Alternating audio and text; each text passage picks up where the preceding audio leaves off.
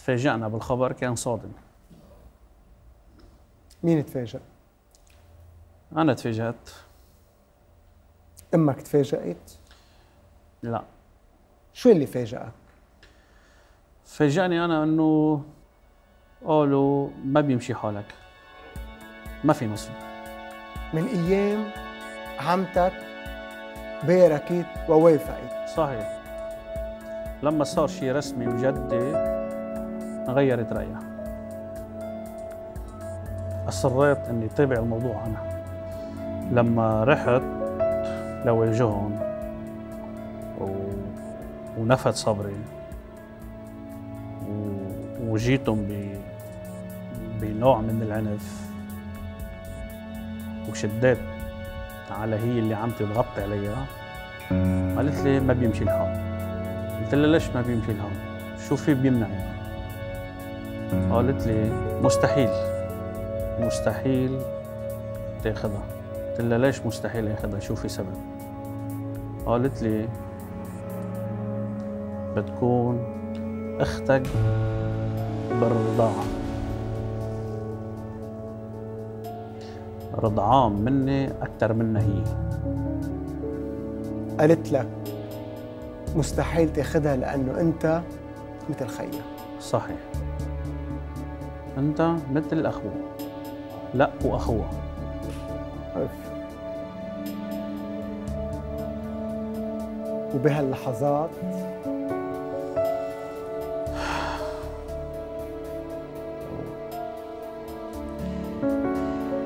انهارت نفسيا. يعني صرت أنا إنه كيف وين وليش رحنا صرنا نسأل. بالشرع وبالدين وبالمشايخ وبالإفتاء. طلع شيء مستحيل. حب محرم. مستحيل. قبل ما تكملوا اشتركوا هلا بقناة مالك مكتبي الرسمية على يوتيوب وما تنسوا شغلوا الجرس. كيف ممكن تتأكد إنه فعلا أختك بالرضاعة ومش تبريرات عم بيعطوها لعائلك من وراء المشاكل وال- والخلافات العائلية اللي كانت على مر السنوات. يعني غلفوا الرفض بهالحجة. أنا كنت مفكر بداية الأمر إنه هيك حجة للرفض أو في شيء. بس ولكن آه، سألت أنا والدتي إنه ليش إنه شو هالموضوع هذا هلا مزبوط ولا هن ما يحطوه حجة؟ ولا خلافاتكم أنتم أدت لهالشيء هذا قالت لي لا. كان بيت واحد ولما كنت صغير كنت أتركك عندها برعايتها هي وأنا أروح. أنا عندي شغل روح. هي ترضعك وبطعميك منها هي. ليش أمك لكان وافقت تروح معك تطلبها أول مرة؟ وافقت بناء على طلبي أنا. يعني هي راحت مشان ما تزعلك بس هي عارفة سلف؟ حب مستحيل. وراحت بناء على طلبي. قالت لي مثل ما بدك. حب محرم؟ حب ممنوع انت مثل خيا أو بالأحرى. خيا خيا مش مثل. الرضاعة ليست فقط لغذاء الطفل وإنما قد تشكل عملية بيولوجية تبادلية بين الأم والطفل قد تنقل بعض الصباغ الجينية. مشان هيك أنت قلت لي موقفك سلبي من هذه الدراسة. صحيح لأنه أنا مريت فيها وأنا بكرهها لهيدي. بعد هاللحظة اللي انهار فيها كل شيء حكيتوا سوا؟ حكينا. حكينا مرة واحدة كانت الأخيرة. شو قالت لك؟ قالت لي مستحيل. انه نحن قالت لي أخوي. مستحيل علاقتنا. وبكيت يعني. هيدي من عشرين سنة. من 20 سنة. كأن اليوم هلأ. من عشرين سنة لليوم توصل لك أخبارها؟ أو الخلافات العائلية رجعت وبعدتكم عن بعض؟ بحاول أنا أتقصى أخبارها. أحوالها وضعها شو عملت وصارت إيه.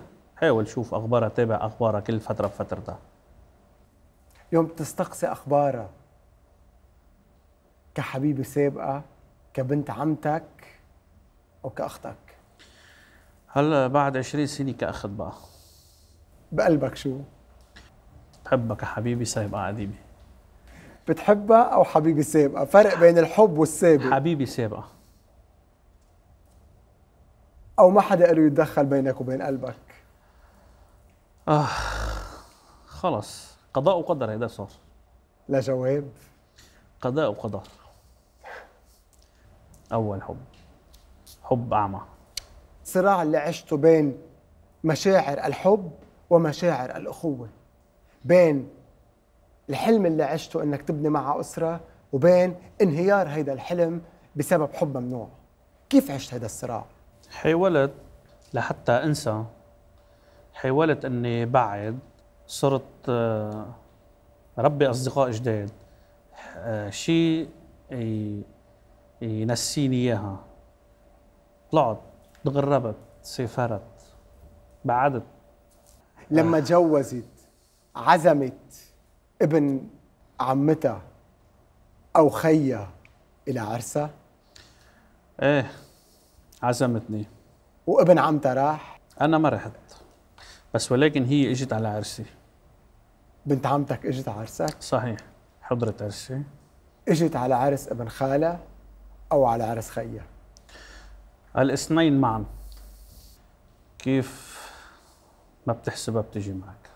إجت على عرس اخوها إجت على عرس ابن خالها إجت على عرس كان حبيبها سابقا. الكلمة اللي بيخاف منها الرجل العاشق شو هي؟ أنت مثل أخي. هيدي الجملة اللي بيخاف منها الرجل اللي بيحب. الرجل اللي بيحب. صحيح. وكيف لو طلعت أخوة بالرضاعة إذا بدنا نختصر قصتك حب أول. حب أول.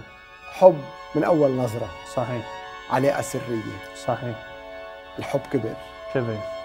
تكتشف فجأة بنت عمتي. بنت عمتك. وبترجع بتكتشف أختي برضاعة. وإنه الحب ممنوع. ممنوع. صحيح.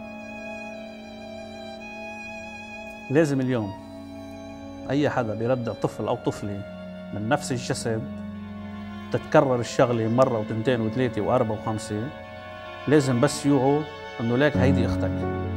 هيدي كذا. أنت وياها رضعان من نفس من نفس المصدر من نفس الشخص. لازم يلفتوا لنا النظر مشان ما يصير فيهم مثل محمد صار فيه. صحيح. مشان ما تصير نفس الحالة عندنا.